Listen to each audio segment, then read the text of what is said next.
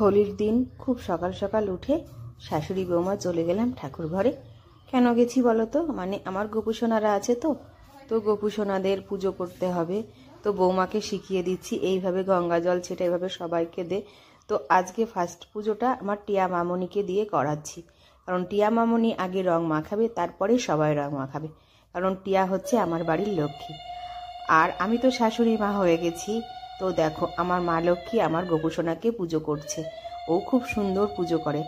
আর আমি গোপুসোনাকে কতটা ভালোবাসি সেটা আমি জানি না, কিন্তু টিয়া গোপুসোনাকে খুব ভালোবাসে। আর আজকে গোপুসোনাকে আমি কী ভোগ দিয়েছি জানো? চিড়ে ভোগ দিয়েছি। কারণ হচ্ছে আমার গোপুসোনাদের আমি মানে নির্দিষ্ট কোনো যে একটাই ভোগ দিতে হবে সেরকম কোনো ব্যাপার না। যেদিন যেটা পারি সেদিন সেটা দিই। তো আমার টিয়া মামনি গোপুসোনাকে দেখো সুন্দর করে আরতি করছে। আর ঘন্টাটাও বাজাচ্ছে। ও পুজো করতে ভীষণ ভালোবাসে। আর আমারই তো বৌমা, আমি যেহেতু পুজো করতে ভালোবাসি, তো আমার বৌমা তো পুজো করতে ভালোবাসবেই বলো। আর আমার মামনি তো খুবই ভালো, তোমরা সবাই জানো। তো দেখো, রঙের মানে রঙের থালাটা সাজিয়ে নিয়েছি। দুই শাশুড়ি বৌমা মিলে আজকে হোলি খেলা করব। আজকে বাইরে হোলি খেলতে যাব না, কারণ গোপুসোনাদের পুজো করতে করতে অনেকটা দেরি হয়ে যাবে। তারপরে রান্না করব, রান্না করে কখন আর বেরোবো বলো? তবুও যদি সময় পাই, বিকেলের দিকটা তবে একটু ঘুরতে যাব। কারণ আমরা এখানে নতুনই এসেছি তো তো কিছুই ঠিক মতন চিনি না। তবুও ভালোই লাগছে এখানে এসে। তো আমার মামনি এখন কি করছে দেখো তো ও নিজে হাতে গোপুসোনাকে খাইয়ে দিচ্ছে। কারণ আমিও গোপুসোনাকে নিজে হাতে খাওয়াই। তো হচ্ছে আমি যেটা করব সেটাই তো ও শিখবে বলো? তো সব রকম মিষ্টি দই দিয়ে চিড়েটা সুন্দর করে মেখে নিচ্ছে। এবার গোপুসোনাকে আমি আবার বলছি গোপুসোনা কে খাইয়ে দিচ্ছে আজকে দেখো তো? তো দেখো আমার মামনি গোপুসোনাকে খাইয়ে দিচ্ছে। আর আমি পাশ থেকে বলছি টিয়া দিদি ভাই খাইয়ে দিচ্ছে খাও সোনা। দেখি আমার কাছে ফোনটা দাও দেখি এখন তো সময় আছে না।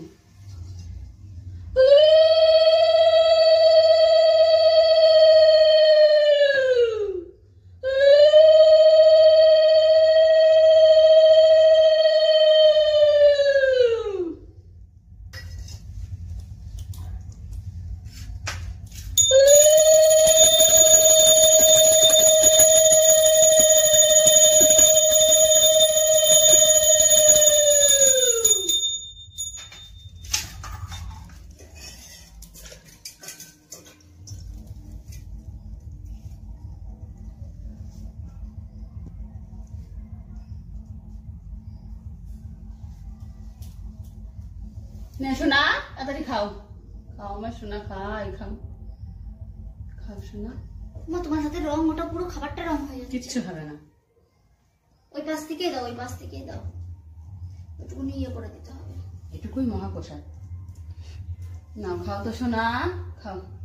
কে খায় কে খায় কে খায়? আমার সোনা খাই খাও।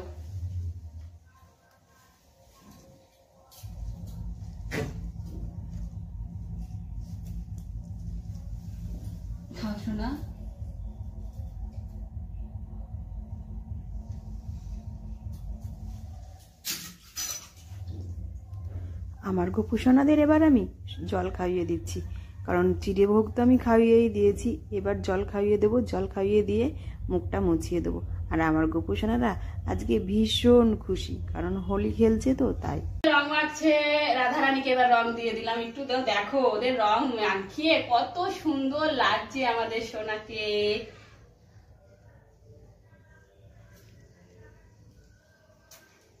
ঠাকুর, হে ভগবান। এই রং যেন সারা জীবন সবার জীবনে থাকে ঠাকুর। দেখি মা। ছবি তুলে নিই হ্যাঁ দাঁড়া। তো আমার গোপুসোনাদের হোলি খেলা শেষ আমাদেরও শেষ। আমি তো স্নান করে নিয়েছি। এবার এদের আমি স্নান করাবো তো দেখো এক একজনকে চেনা যাচ্ছে না এমন অবস্থা। তো স্নান করাবো এই যে এখন ফুলগুলা ফেলে নেব আস্তে আস্তে। আর এই যে জলটা পুরো রেডি আর আজকে তো ওদের শ্যাম্পু করাতে হবে। নাই হচ্ছে হবে না। তো ফুলগুলো আস্তে আস্তে ফেলে দিই। চুল টুলগুলা কি অবস্থা করেছিস? বাপরে বাপ। এ, আজকে চুল আজকে চুল পরানো যাবে না। আজকে আর এই চুল পরানো যাবে না। দেখেছ তো কি অবস্থা করেছে? হোলি মনে হচ্ছে এরাই খেলেছে, আর কেউ খেলেনি।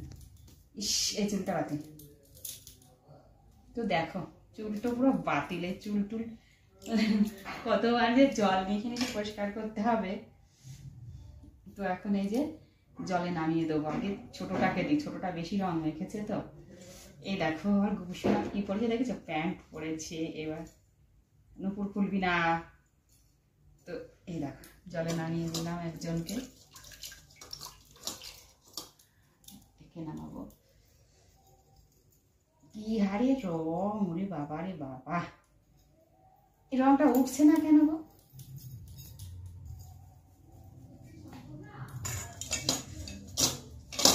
আগে এদের দুজনকে করিয়ে নি মানে জায়গা ছোট তো, ধরবে না।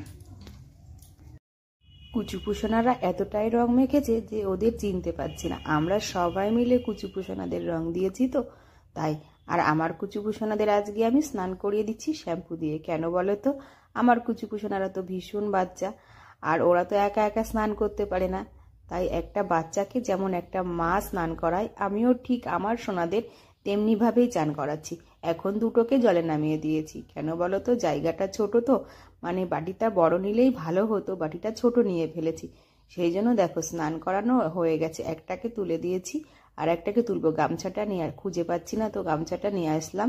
নিয়ে এসে এবার কুচুপসোনাকে সুন্দর করে গা মুছিয়ে দিচ্ছি। কেন বলো তো, হোলি খেলেছে, অনেকক্ষণ রং মেখেছিল। এবার যদি গাটা আমি ভালো করে না মুছিয়ে দিই, তাহলে ওর ঠান্ডা লেগে যাবে। তো দেখো কুচিভূষণ আর আমার সন্তানের মতন।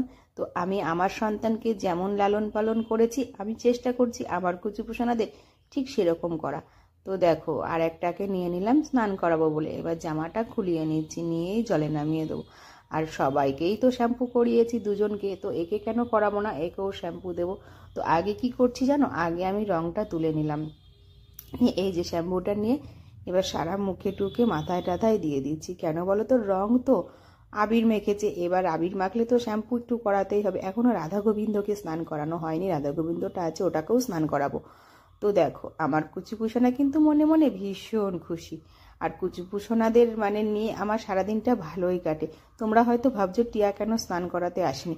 ও বাচ্চা মেয়ে, ও না খেয়ে সারাদিন পুজো করেছে, উপোস করেছিল, সেই জন্যে আমি বললাম, স্নানটা আমিই করিয়ে দিচ্ছি। তো এই যে, আমার গোপুসরাদের স্নান টান করিয়ে সেবা দিয়ে দিয়েছি। এখন কি দিয়ে সেবা দিয়েছি দেখো?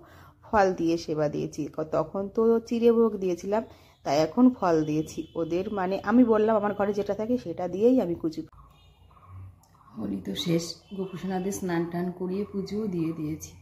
আর দু একটা কথা বলার জন্যই আমি মানে সবশেষে তোমাদের সামনে এসেছি। আমি ভিডিও করি, আমি অনেকবার বলেছি, দেখো ভিডিওটা আমি সম্পূর্ণ শখে করি। এই নিয়ে প্লিজ তোমরা কেউ উল্টোপাল্টা কথা বলবে না। মানে আমার ছেলেকে নিয়েও তোমরা ভীষণ উল্টোপাল্টা কথা বলছো। ভিডিও আজকাল সবাই করে। আর ও তো বাচ্চা ছেলে, মেয়েটাও বাচ্চা। তো আমার ছেলে বৌমা ভিডিও করে। তাই নিয়ে তোমরা অনেকেই আমাকে উল্টোপাল্টা প্রথমের দিকে কমেন্ট করতে, যেমনি মা তার তেমনি ছেলে বৌমা, শাশুড়ি যেরকম, বৌমা সেরকম। তা হচ্ছে ভিডিওটা করা যদি সত্যি খারাপ হয়ে থাকে, তাহলে অনেকে ভিডিও করতো না। আর ভিডিও করতে গেলে তো একটু মানে কথাবার্তা বলতেই হবে। সেটা বলি, তাই নিয়েও তোমরা নেকু বলো, ভীষণ উল্টোপাল্টা কথা বলো। তো আমি এটাই বুঝে পাই না যে ছেলেদের বিয়ে হয়ে গেলে, মেয়েদের বিয়ে হয়ে গেলে সেই সব মা বাবারা কি মানে শখ শান্তিটাকে বিসর্জন দিয়ে দিতে হয়? তারা কি সত্যি বুড়ি হয়ে যায়? তো আমি বেশি কিছু বলতে চাই না। মানে যেটাই বলি সেটাই তোমাদের হয়তো খারাপ লাগবে। তো আজকের ভিডিওটা, তাই আমি এইটুকুই বললাম। আর হচ্ছে কমেন্টের উত্তর দেওয়া ভিডিও আমি একটা পুরো করব, সেটা তোমরা সবাই পুরোটা দেখবে। আর একটা কথা আমি তোমাদের সঙ্গে শেয়ার করব। নেক্সট ভিডিওয় তা আমার নেক্সট ভিডিও অবশ্যই তোমরা দেখবে। তো ভিডিওটা এখানেই শেষ করছি। টাটা।